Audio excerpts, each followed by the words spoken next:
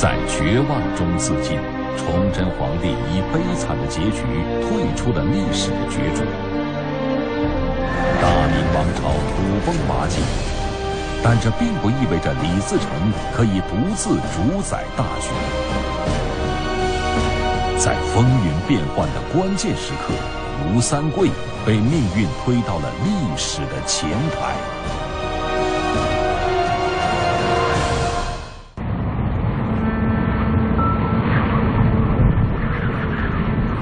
公元一六四四年，吴三桂三十三岁，这本该是一生中最挺拔亮丽的年华。但在过去的两年中，他却经历了前所未有的精神重压。松锦之战惨败之后，明王朝苦心经营的宁锦防线被清军全部攻破。吴三桂所镇守的宁远，成为明朝在山海关外的最后一座堡垒。也就是在这一年。吴三桂被任命为辽东提督，成为宁远城最高军事长官。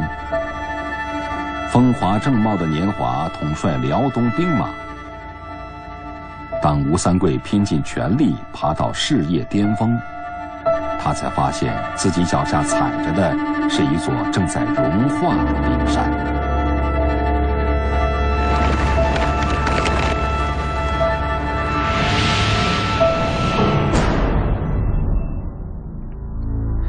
西面是前途暗淡的家园，那里正处在分崩离析前夜的紧张慌乱之中。幸亏山海关高大的城墙把饥民的呻吟和农民军的呐喊声严严地挡住，让自己享受片刻清静。而东面辽阔的平原上，清军不断涌来。冲刷的宁远城摇摇欲坠，大明王朝正以极快的速度垮塌。即使远在关外，吴三桂也已深切地感受到死亡的气息正在逼近这个曾经风光无比的帝国。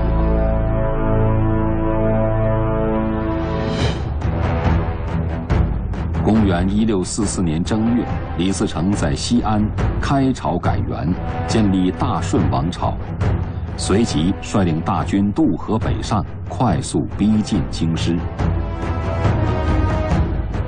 此时，明朝的精兵良将已经丧失殆尽，吴三桂手下的三万关宁铁骑，成了崇祯皇帝的最后一张王牌。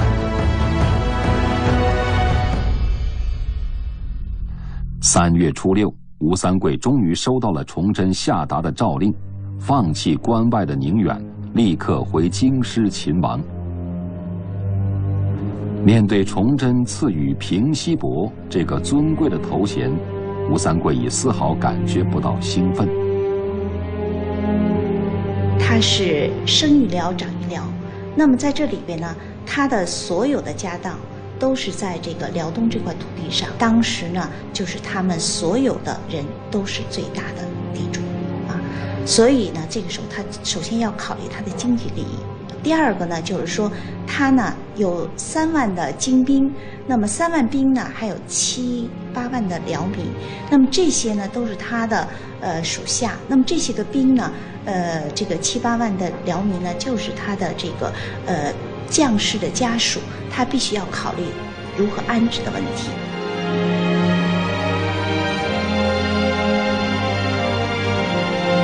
驰骋疆场、精忠报国是自己毕生的理想。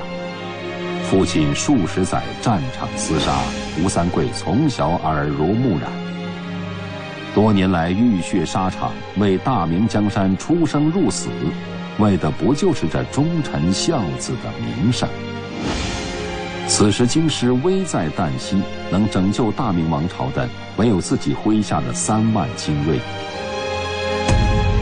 而如今李自成的军队连战连捷，士气正旺，凭着关宁铁军能否力挽狂澜，吴三桂并无把握。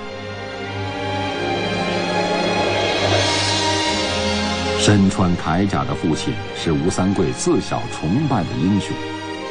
此时进京秦王对他来说有着非同寻常的意义。京师还住着他的全家老小，包括他最敬重的父亲吴襄。他的父亲。已经就是呃被就是在提督经营在京城，他的一家老小也在京城。那么也就是说，他面临着一次前所未有的一次抉择。和以往的撤兵不同，这是要放弃一块土地，所以这些人呢需要跟着他一块儿走。而且呢，关外的这些百姓听说他们要撤军，也要跟着他一块儿走。这样呢就不是七八万人的问题了。那么史书上说他有五十万之众。一六四四年三月十一日，吴三桂率领关宁铁军踏上了前往北京的西进之路。过于庞大的队伍使行军速度严重迟缓。这支军民混杂的队伍中，大家扶老携幼，日行不到五十里。直到三月二十日，吴三桂大军才行进到了河北丰润。距离北京还有数百里之遥。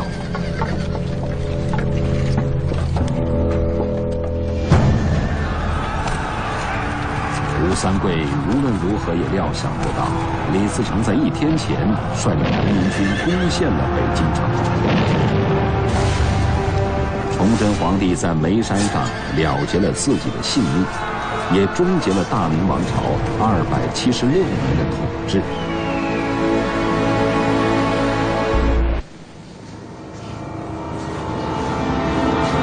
京师如此之快的陷落，大大出乎吴三桂的意料。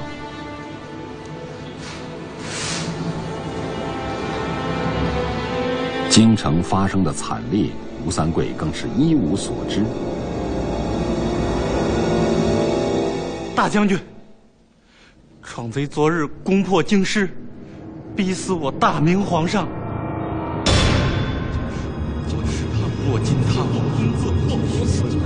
简直不敢相信，农民军竟会如此迅速地把北京攻破。昨天他还是堂堂的总兵官平西伯，而如今君主是亡国之君，自己是亡国之臣。皇上，皇上，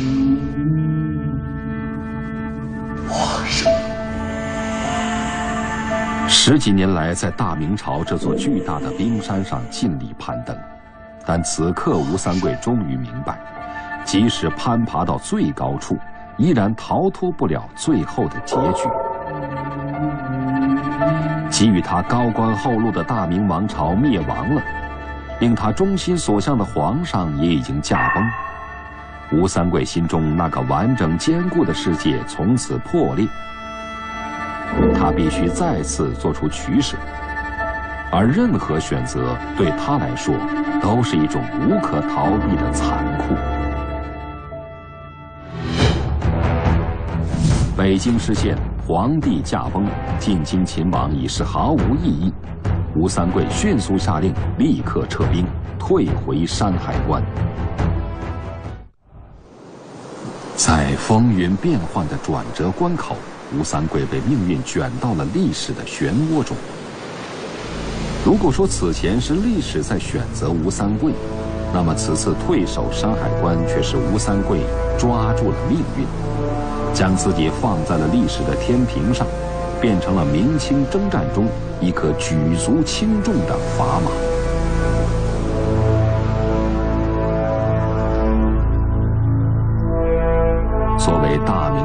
最重要的边防要塞，山海关素有“天下第一雄关”之称。它东临大海，北有群山，山海相依，易守难攻。山海关不仅是捍卫京师的重要屏障，更将来自关外清军的威胁拒之千里。这座依山傍海的雄关，将是吴三桂继续生存下去的唯一砝码。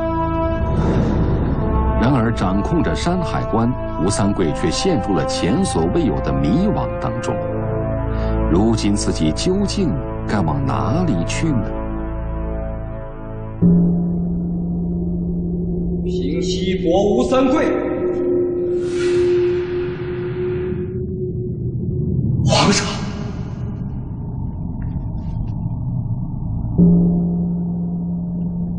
你是朕的心腹，是我大明王朝的忠臣，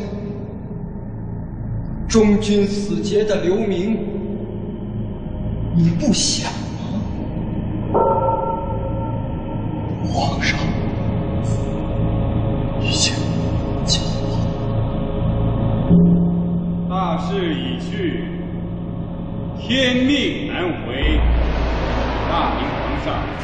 不在了，忠臣，你是做不了了。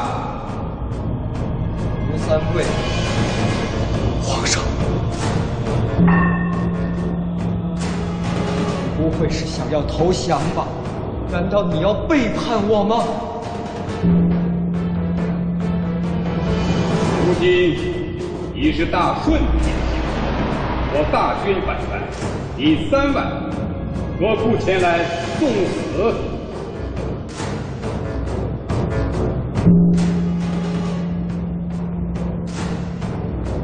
背叛朕，背叛明朝，叛朝霸名，你要永远的背下去。外名烈一生耻辱，你就不怕吗？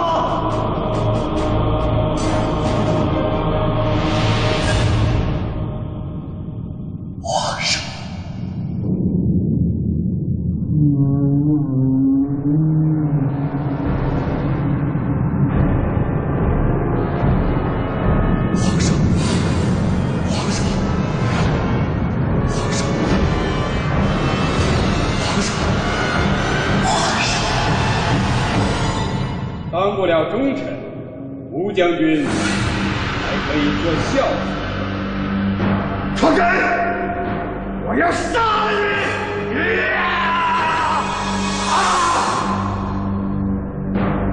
父亲，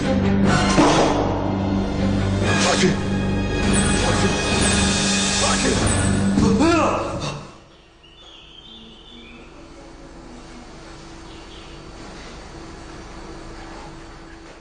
明朝就亡了，没有过来，他的家、父母都在北京，说是有家难投，就剩他带着他的这个部队住在山关。皇帝也没有了，明朝的朝廷也不复存在了。在这个时候，吴三桂的处境可以用四个字来形容：无处收留。他的这支大军转眼间成了无处收留的大军，没有去向了，已经。一六四四年四月二十九日，李自成派来劝降的使者抵达山海关。此时关宁铁军没有发军饷，已足足十四个月。使者送来的四万两银子，无疑是雪中送炭。更何况使者带来了为吴三桂封侯的檄书，还有一封来自父亲吴襄的劝降信。事机已逝，天命难悔。吾君已矣而复须臾。即今早降，不失封侯之位，而犹权孝子之名。皇上驾崩，但父亲仍在。吴三桂终于为自己找到了活下去的理由。当不了忠臣，还可以当孝子。为了救父亲，吴三桂在道德的荆棘中寻到了一丝缝隙，做出了第一次出逃。四月初四，吴三桂将山海关交给大顺军，自己则率领关宁铁军踏上了前往京师归降李自成的路途。这个突然间的转变呢，呃，实事求是的说呢，首先是吴三桂呢归附大顺政权呢，本身呢他就不是出于自己的这样一个诚心，而是作为一种呢暂时观望的一种一种这个徘徊。吴三桂啊，他们的这种他手下的关宁铁骑啊，当时在山海关了，打出的呢仍然是明朝的旗号。根本没有义旗，也没有这个换上李自成部队的大顺军的这样一些印信，都没有。所以他本身投降大顺政权就是非常脆弱的，非常脆弱的一种协议式的投降。此次进京归降，吴三桂虽有些忐忑不安，却也充满期待。毕竟他交给李自成的是山海关，而自己想要的只是家族的平安和他心爱的女人陈圆圆。陈圆圆是一个。江淮名妓，啊，这个人是相貌非凡，才艺绝伦，非常得到吴三桂的宠爱。他当时有考虑，考虑什么呢？一个是李成开的条件很好，还有他父母在北京，他最心爱的女人陈圆圆也在北京，说这几方的因素考虑的话呢，他就当李成给他这样优惠的条件时候呢，他很快就接受了。一路上，吴三桂不断幻想着他到达京城之后盛大的欢迎场面，封王拜侯的荣耀，与家人团聚的喜悦，与爱妾陈圆圆的久别重逢。想到抵达京师后的一切，吴三桂不免有几分激动，沉醉在无比美好的想象之中。他对于北京城内发生的惨烈一无所知。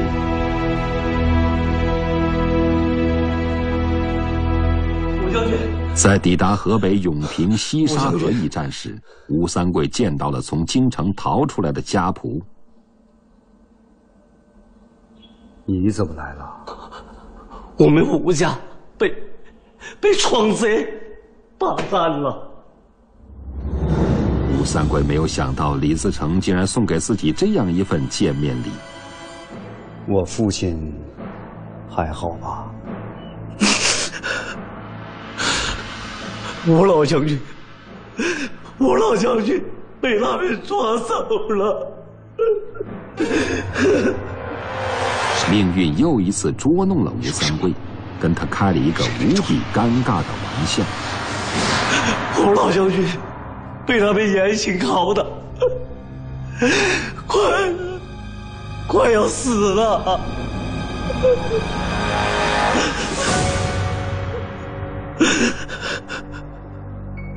愤怒之中的吴三桂突然想起一个问题，这个问题牵动着吴三桂心中的最后一丝底气。将军，圆圆呢？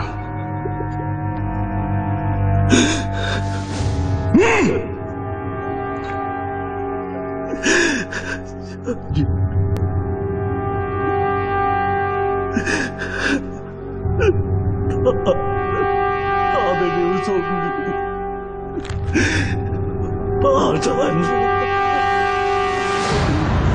所有美好的幻想在吴三桂眼前彻底崩塌了，他简直不能相信这样的奇耻大辱会劈头盖脸的落到自己身上。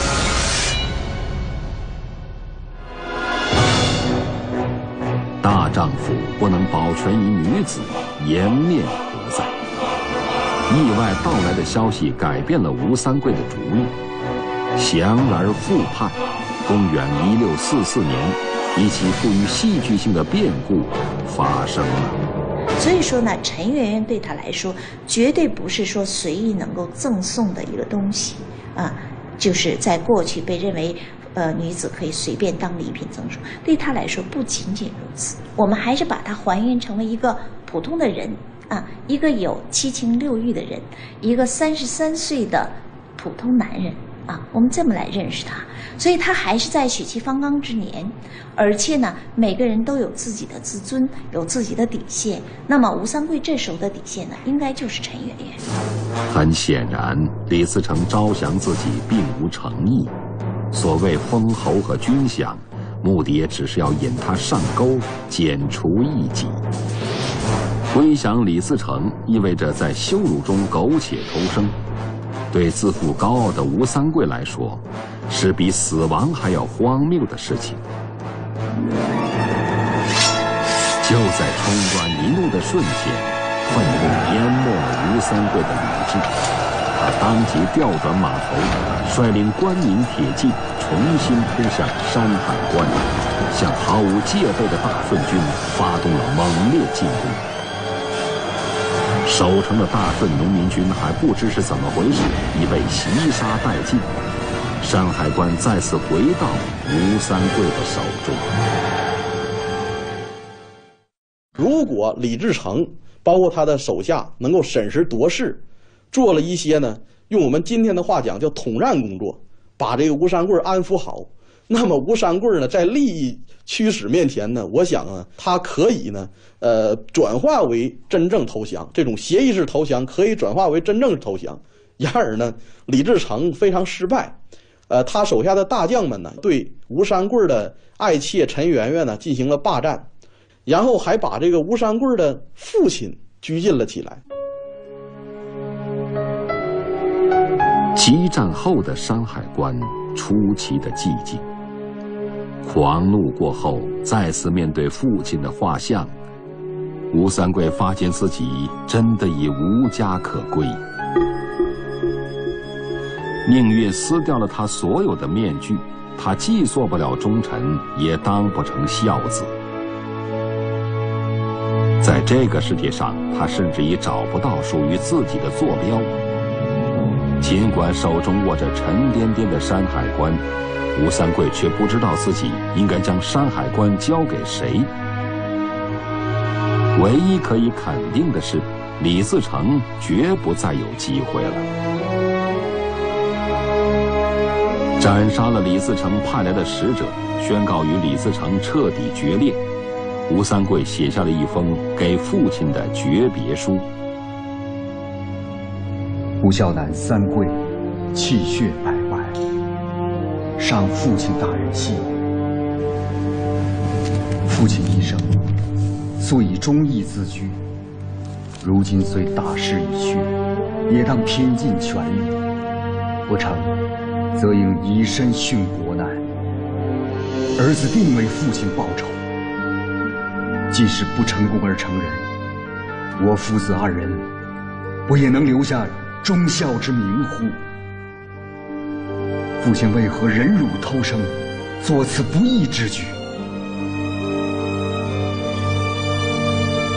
既然父亲不能做忠臣，三桂又安能为孝子？自今日起，儿与父断绝关系。父不早吐，流寇即使把父亲置于刀斧油锅之上来要挟三桂，我也绝不回顾。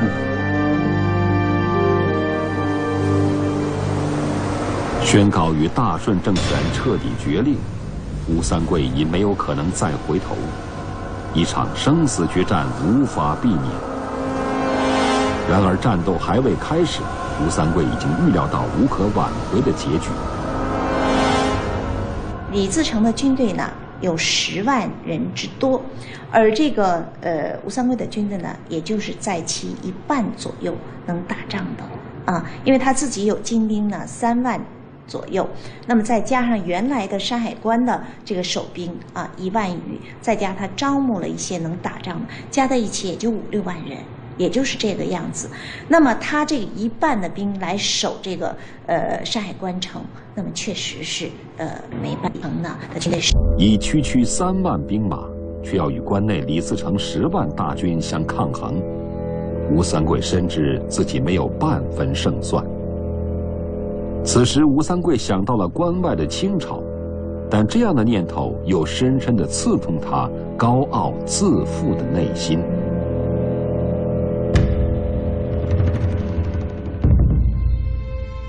过去驻守宁远的日子，吴三桂每天都要经过这两座牌楼，每次经过，他的内心都会禁不住一阵灼痛。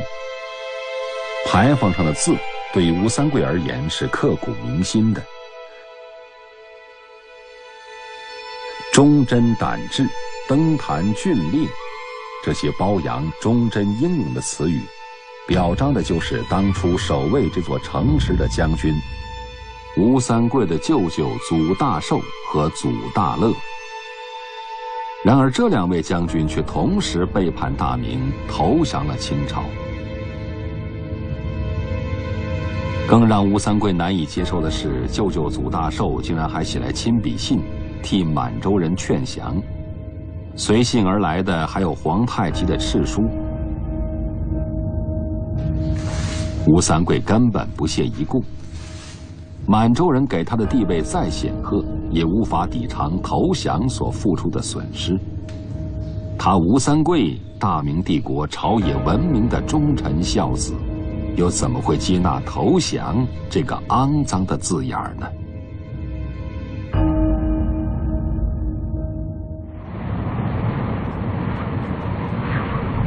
多年来，吴三桂始终以高傲的姿态拒绝清朝的招降。然而，如今能同李自成大军抗衡的力量，唯有清军。面对绝境，吴三桂渴望竭力奋争。他要对命运反戈一击，他要试图冲出命运为他设计的险恶陷阱。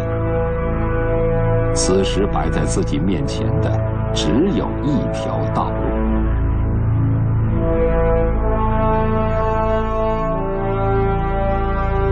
四月十二日，吴三桂亲自写请兵信，向昔日不共戴天的敌人发出了请求，希望清朝念他亡国孤臣的忠义，出兵施以援手，消灭李自成。他是以代表了明朝发出这封信，说称清朝为北朝，是北朝南朝非常鲜明，不是一朝，这是不混淆，列地一筹。我将来感谢你的，不是以金银来感谢你，是给给给你一个地盘给给你土地来报答你。他非常明确，绝不是详请，是请兵，请请求清朝出兵，帮他复仇，恢复明朝统治。义正言辞的请兵信所换来的结果，让吴三桂大失所望。多尔衮在回信中虽然打出了消灭农民军的旗号，但出兵相助之事却只字不提。对于吴三桂提及割地及酬谢，清朝避而不答，甚至还反过来提出招降吴三桂。原本胜券在握的借兵，岂料是这般结果。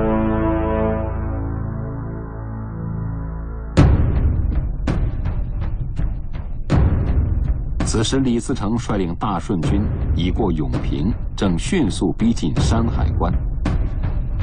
一场关系命运的殊死决战正在日益临近。山海关岌岌可危。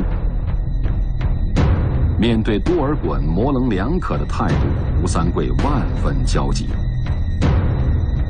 无奈之下，他派人向多尔衮送去了第二封请兵信，恳请清军火速直入山海关。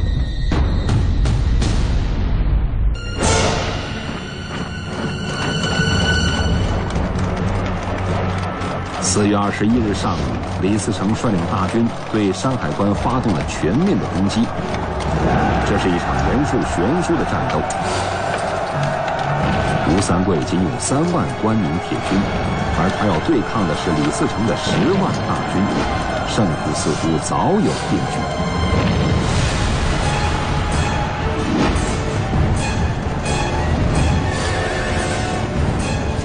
这一天，战场上的吴三桂频频向关外投下期待的目光，他期待自己能在某一次回首之间看到清军的影子。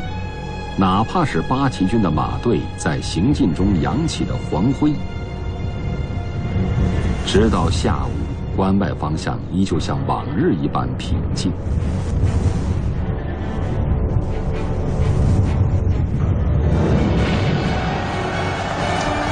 由于实力悬殊，孤军奋战的关宁铁军伤亡惨重，山海关危在旦夕。激烈的战斗一直持续到黄昏时分，暮色低垂，才稍告平息。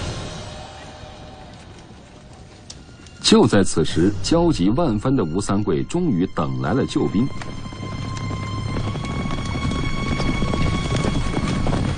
不料，就在距山海关外不远的地方，多尔衮命令清军停止前进，原地待命。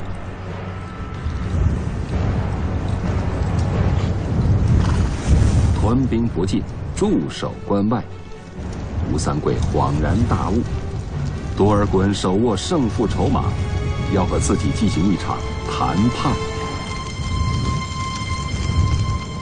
山海关呢，它是呃有一座主城和四个副城，就是东罗、西罗、南夷和北夷。四个府城有三个府城都险些被攻破，那么这个是很危险。也就是说，第一天呢，他根本就是感觉到了李自成的攻势非常的猛，他守不住。所以吴三桂呢感到呢，如果说呃就是在这种情况下，他没有援军，他是守不住这个城。即将到来的一天，将是一场决定生死存亡的大战，只有依靠清军的相助，自己才有胜算的可能。偏偏在这个节骨眼上，多尔衮不愿意出手相助。吴三桂心急如焚，立刻派遣使者前往清营。这是吴三桂有生以来最漫长的夜晚。大顺军如虎狼之师，企图全歼宁远铁军，自己已无退路。清军在他的借兵之请下，抵达山海关外，但却迟迟不见入关。如果在天亮之前不能让清军入关，等待他的只有不可挽回的失败。吴三桂意识到自己必须尽快与多尔衮达成共识，因为每一秒钟的逝去都意味着自己距离死亡越来越近。这天夜里，吴三桂派出的使者先后八次面见多尔衮。请求他火速出兵进入山海关。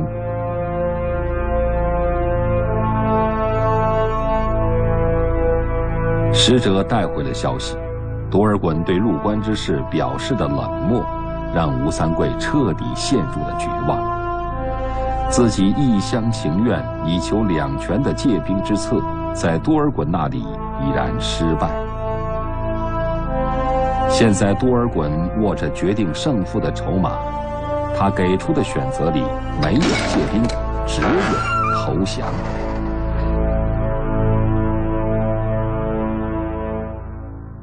投降这个字眼儿，火辣辣的刺激着吴三桂的神经。多年来，皇太极多次招降吴三桂，都被他严词拒绝。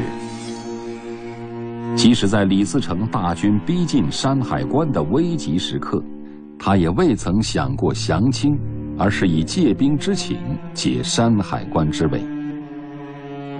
如今陷入绝境之中，吴三桂几乎已经动摇，因为天亮之后，李自成大军的洪流将淹没他所有的退路。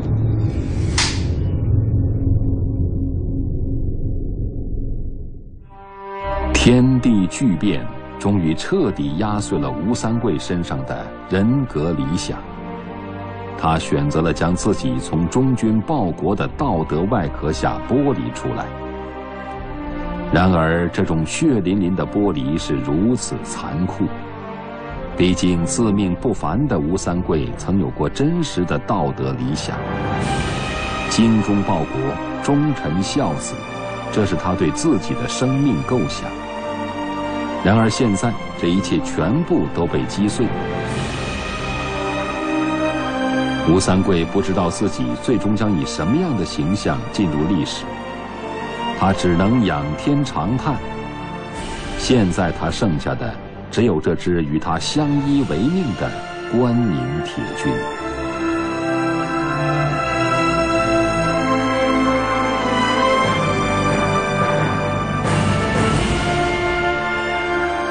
月二十二日，天边刚刚显露曙光，山海雄关的东大门洞开，清军终于入关了。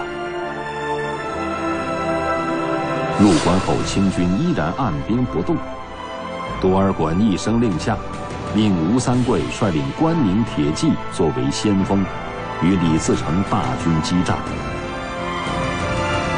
大战一触即发，军令如山，由不得吴三桂片刻犹豫。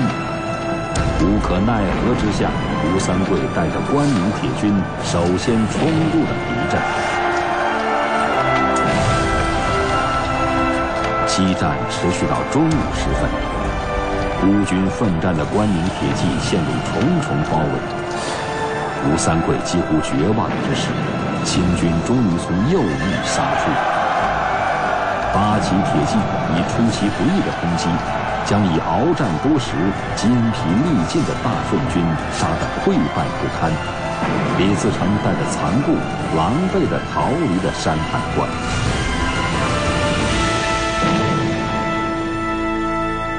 当山海关大战以大逆转的结局结束时，受命作为前锋的关宁铁军几乎消耗殆尽。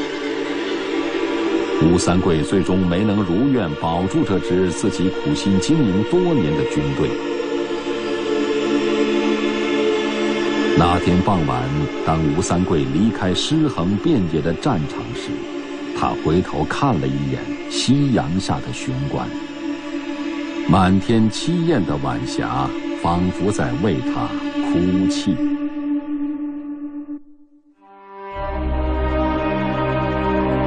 弥漫在山海关的硝烟还未散尽，多尔衮下令晋封吴三桂为平西王。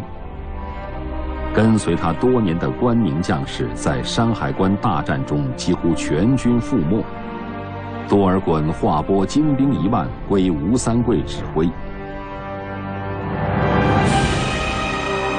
他能做的只有接受，接受清朝的封赏和任务，接受剃发易服的命运。迈过了忠臣孝子的道德门槛，最终却没能保全自己的军队。此时，吴三桂孑然一身，再也没有退路。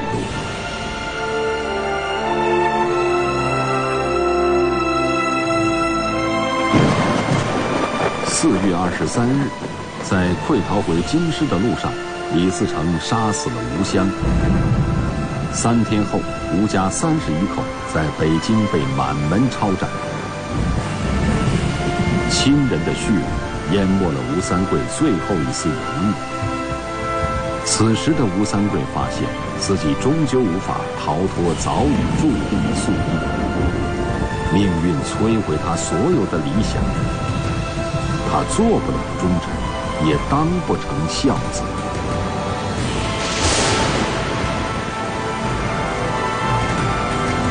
失去了军队，失去了家族，吴三桂已经一无所有。从多尔衮手中接过平西王的封号，他十分清楚，自己只能毫无选择地成为清朝借以扫除农民军的棋子。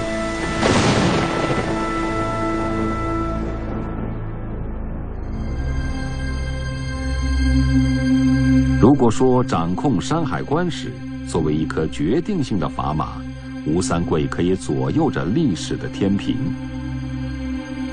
那么当他迎接清军入关时，历史已成定局。现在，他只能屈服于不可改变的现实。吴三桂只能继续为大清王朝效力。这是他再也无法逃脱的宿命。